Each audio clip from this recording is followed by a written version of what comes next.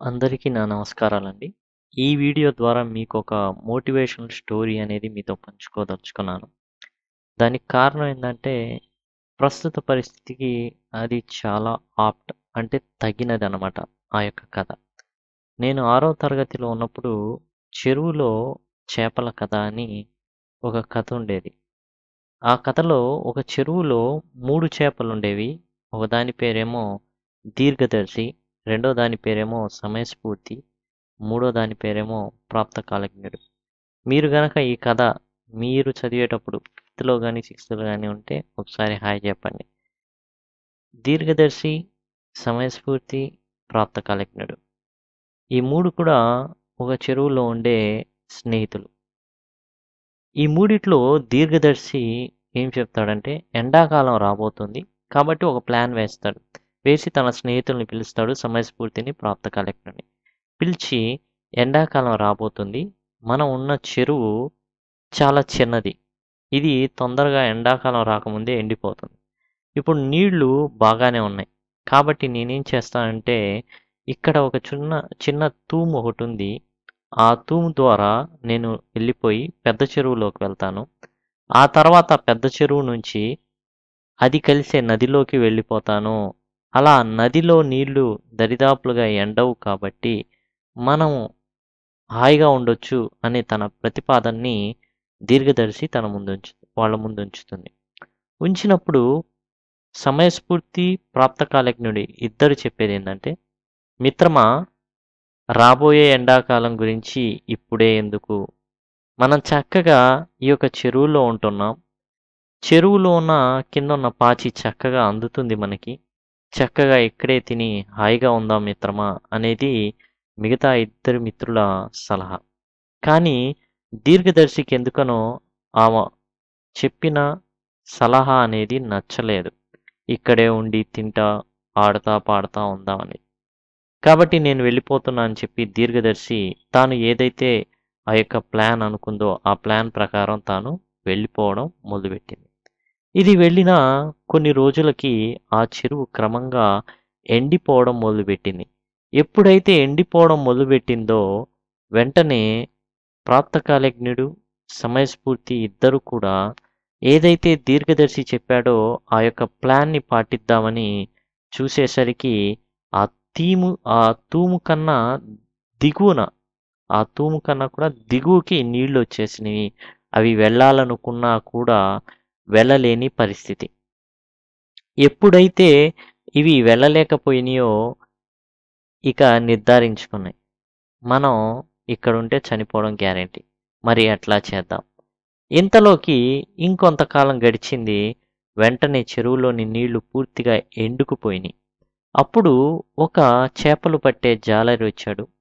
చక్కగా తన వల వేశాడు. అందులో ప్రాప్తకాలజ్ఞుడు చిక్కాడు. ఇక సమయస్ఫూర్తి చిక్కాల్సింది. కాబట్టి సమయస్ఫూర్తి ఏం చేశాడంటే, నేను ఎట్లానా చచ్చిపోతా.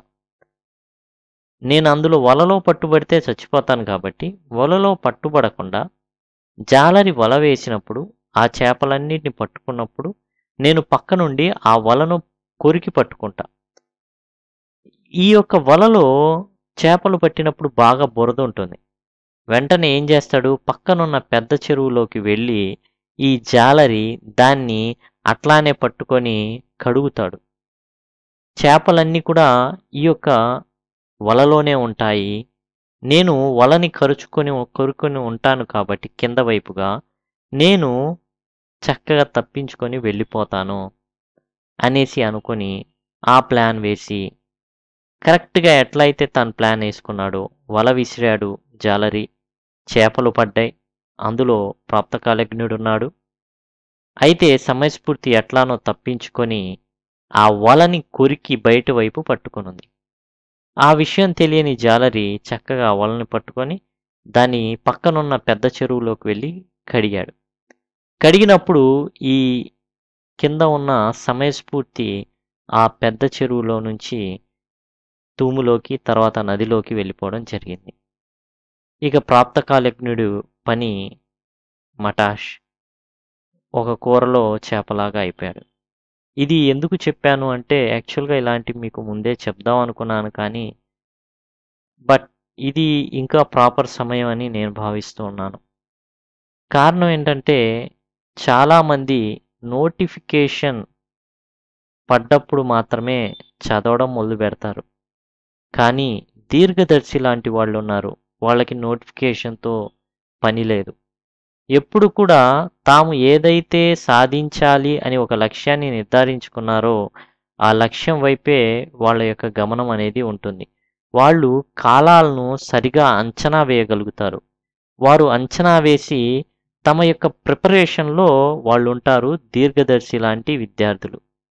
రెండవ తరం సమయస్ఫూర్తి. వీళ్ళెవరంటే నోటిఫికేషన్ పడుతుంది అనగానే వాళ్ళు చేస్తున్న ఉద్యోగాలు అవన్నీ ఆపేసి ప్రిపరేషన్లో భాగమైపోయి ఎట్లానో అట్లా కింద పడో మీద పడో మొత్తానికి ఎట్లానో సాధించాలని ప్రయత్నించే వర్గం సమయస్ఫూర్తి వర్గం.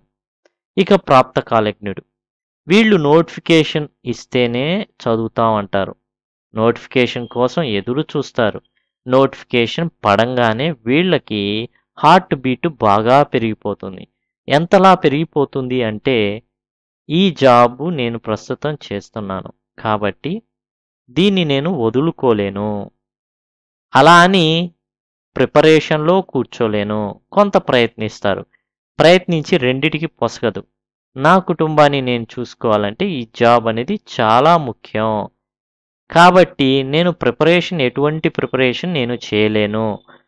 ఎన్నేసినా నాకు అనవసరం అనేసి చేతులెత్తేస్తాను చేతులు ఎత్తేసిన పిదప వీళ్ళు చూసేది ఏంటి అంటే చాలామంది ఉద్యోగాల్లో చేరడం ఈ యొక్క ప్రాప్తకాలజ్ఞులు చూస్తారు. చూసి చాలా బాధపడుతూ ఉంటారు.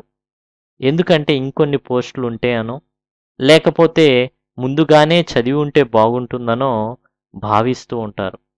దీర్ఘదర్శి లాంటి వ్యక్తులు ఏం చేస్తారు అంటే వీళ్ళు ఉద్యోగాలు చేస్తున్నప్పటికీ లేదా చదువుకుంటున్నప్పటికీ కూడా వాళ్ళ లక్ష్యాన్ని మరవకుండా కొన్ని గంటల పాటు తాము ఏదైతే లక్ష్యాన్ని నిర్దేశించుకున్నారో ఆ లక్ష్యం వైపు అడుగులు వేయడం ఏమాత్రం కూడా ఆపరు. ఇది దీర్ఘదర్శి యొక్క ఆలోచన. అంటే మీరు ఒక లక్ష్యం డిఎస్సిలో లేదా ఏదైనా ఒక దాంట్లో రైల్వేస్ లేకపోతే బ్యాంక్ ఏదైనప్పటికీ కూడా మీరు దాని అడుగులు అనేవి ప్రతిరోజు వేస్తూనే ఉండాలి. ఎట్లయితే మనం ఆహారం తీసుకుంటున్నామో ఆ విధంగా. దీర్ఘదర్శి లాంటి వ్యక్తులకు మాత్రమే ఉద్యోగాలు వస్తాయి. సమయస్ఫూర్తిలో సమయస్ఫూర్తి ఉన్న కొంతమందికి మాత్రమే ఫిఫ్టీ ఫిఫ్టీ ఛాన్సెస్ ఉంటాయి వీళ్ళకి రావడానికి. అది కూడా పూర్వ జ్ఞానం ఉంటే తప్ప ఒక తెగింపు అనేది వీళ్ళలో ఉంటుంది సమయస్ఫూర్తి వాళ్ళలో. ఏంటంటే ఆ తెగింపు నోటిఫికేషన్ పడుతుంది అనగానే ఖచ్చితంగా తెలియగానే ఉద్యోగాలు అయినమని తెగిస్తారు. ప్రాప్త కాలజ్ఞులకి ఆ తెగింపు కూడా ఉండదు. దీర్ఘదర్శి తెగించడానికి అవసరమే లేదు. ఎందుకని? ముందుగానే మేల్కొన్నాడు. తాను ఏ జాబ్ చేస్తున్నప్పటికీ కూడా కొన్ని గంటలు దానికోసం అభ్యాసన ముందుగానే మొదలుపెట్టాడు కాబట్టి తన యొక్క ఏదైతే ఉందో సిలబస్ అదంతా కూడా పూర్తి చేయగలిగి కాన్ఫిడెంట్ విశ్వాసం కలిగి ఉంటాడు. ఆత్మవిశ్వాసంతో అతను పరీక్షను రాయగలుగుతాడు. కానీ సమయస్ఫూర్తిలో ఆందోళన ఉంటుంది టెన్షన్ ఉంటుంది. అలానే ఏదైనా ఖచ్చితంగా ఒక త్యాగం చేయకుండా ఇతను సక్సెస్ కాలేడు. త్యాగం చేసినంత మాత్రాన సక్సెస్ అవుతాడని కూడా చెప్పలేం. అక్కడ సమయస్ఫూర్తి ప్రాణాలు పోవచ్చు పోకపోవచ్చు. తెలియదు ఫిఫ్టీ ఫిఫ్టీ. వీళ్ళ పరిస్థితి కూడా అంతే ఉంటుంది.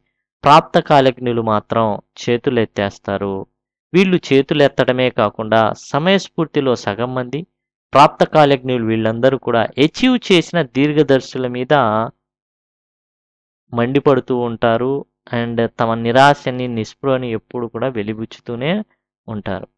కాబట్టి మనం దీర్ఘదర్శుల్లాగా ఉంటేనే మనం ఏదైనా కానీ అచీవ్ చేయగలుగుతాం.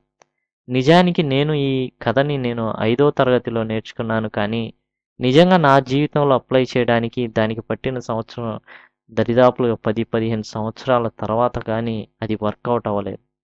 కాబట్టి మనం ఎంత తొందరగా ఈ విషయాన్ని గ్రహించగలుగుతాం అనే దాన్ని బట్టి మన యొక్క విజయం అనేది ఆధారపడి ఉంటుంది. Thank you thanks allot